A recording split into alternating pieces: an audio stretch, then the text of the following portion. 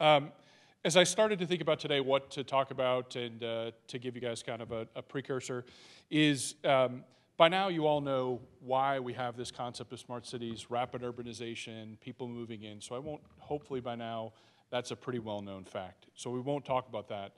What we'll talk about a little bit is what our customers are faced with in, in addition to that rapid urbanization. What they're looking at is they're looking at a workforce that is graying. Uh, they're looking at, uh, we were with the city of Las Vegas and they talked about how 30 plus percent of their workforce is going to retire in the next five years. Simultaneously, uh, they're faced with uh, just an amazing amount of transition. You've got mobility, self driving cars, uh, you've got an entire transformation of the transit system, how it works, how they flow together. You have drones coming to cities. Uh, so uh, in, I think in Mesa, Arizona, they're putting up, a developer's putting up a, a hotel. There won't be any, uh, when you call for food service, it'll be delivered by a drone, is what they tell me. So just think about that uh, as an example. You have the utility industry that is simultaneously facing, uh, you know, a hyper distributed environment where there's local generations, manufacturing, and, and core customers are going to come off the come off the grid in droves, while at the same time, because of uh, self-driving cars, there's going to be an entire electrification of cities in ways that the charging stations are only the tip of the spear. And oh, by the way, they also have to deal with uh, they have to deal with urban resiliency, right? Flooding that you saw in Houston, uh, more common everyday flooding in other parts of the city, climate change. Uh, I don't know if we're supposed to talk about that anymore, so forgive me. Um, all right, good. That's always a joke I'm worried about, so thank you. That was very kind of you all. Um, then, uh, and, and the fires in California, right? So when you look at that, customers are saying, hey, how do I, I don't know where to place all my bets. I don't know how to handle this. We believe you have to put a data fabric together. We believe, we, we agree with Zach about the need to connect up things securely. And we're starting to see customers, and then the next question is, well, where do I get started? How do I do this? And I'll give you two examples. So in Cary, North Carolina, it's a small city. They wanted to do something, 65,000 people, they wanted to do something quite small, quite, quite simple and straightforward. They wanted to learn a little bit more about their downtown.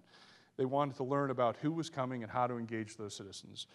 Uh, they have wireless, so they engaged their citizens and started to get data on it. And then they realized, well, wait a minute, not everybody connects. Okay, so they put video analytics out, they combine the two data sets, and now they get to see where people are and compare the data. So now they get a more accurate, richer uh, economic data set. And then they started connecting up parking spots, and they started to realize that given events they had oversubscribed the number of handicap spots and undersubscribed it in, in other events.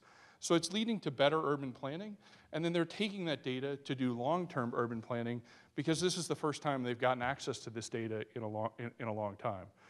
Another example of a customer using smart cities is, is the city of Las Vegas. Um, and uh, they basically wanted to create an innovation district and encourage folks to come and start jobs in Las Vegas. So they wanted to use, they wanted to serve the citizens and build out an infrastructure, while at the same time they wanted to also treat their city as an open platform so that you as a startup could innovate. And they had some very practical issues. One of their issues was pedestrian deaths. They are the number three or four, and forgive me, I, I should know the answer, but I don't. Uh, they're in the top five in pedestrian deaths. So they wanted to take a look at why, what was happening, right? It's obvious when somebody gets hit, but the reality is when they don't get hit, how do we handle it? So we worked with them to bring a variety of sensor types together so they could get that visibility and provide that to the urban planner so they realized that, hey, at this city block, we should put in a new walkway, right? There were a lot of near misses. It doesn't exist today. They never had access. Well, the amazing thing about that is the economic development team got to use that same data and said, hey, wait a minute, there's a lot of people walking here. We ought to really go and engage the business community and bring a coffee shop or a new retailer. So to me, that's what Smart Cities is about. It's about transforming the citizen experience, the citizen engagement. We'll talk a little bit more in the panel session, but I thought I'd tell you a little bit about what people are doing. I, I think the advice, I, am always asked is what's the advice? It's the advice I got from a customer. It's, it's get started. Um, you'll be amazed about how, how quickly you can learn and, uh, uh, and what you can do over time with a little bit of effort. So thanks for having me.